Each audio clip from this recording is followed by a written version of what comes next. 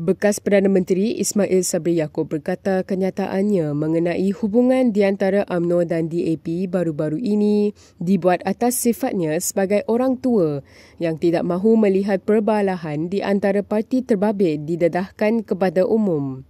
Bercakap kepada media di Petaling Jaya hari ini, Ismail Sabri berkata tidak wajar kedua-dua pihak menzahirkan rasa tidak puas hati masing-masing di media masa dan disaksikan orang ramai.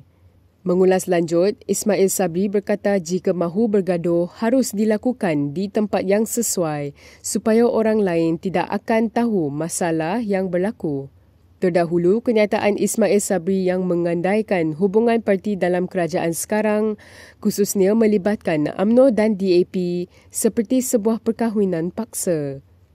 Ia merujuk kepada tindakan sesetengah pemimpin parti itu saling membalas kenyataan secara terbuka termasuk membabitkan isu cubaan AMNO memohon agar bekas presiden mereka, Najib Razak, diberi pengampunan oleh Yang di-Pertuan Agong.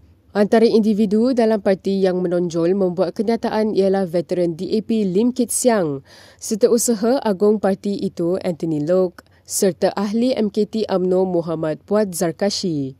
Ismail Sabri berkata pandangan yang diberikannya itu adalah sama saja dengan pendapat diberikan oleh pihak lain yang melihat perseteruan di antara pemimpin AMNO dan DAP.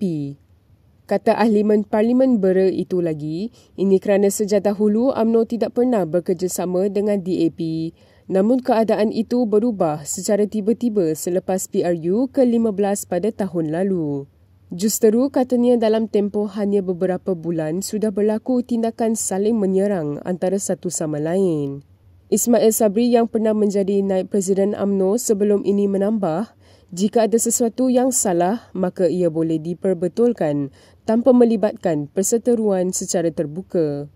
Pada pendapatnya, tambah Ismail Sabri lagi, keutamaan para pemimpin parti kerajaan sekarang ialah memberi fokus sepenuhnya kepada isu persediaan menghadapi PRN bukannya bertelagah.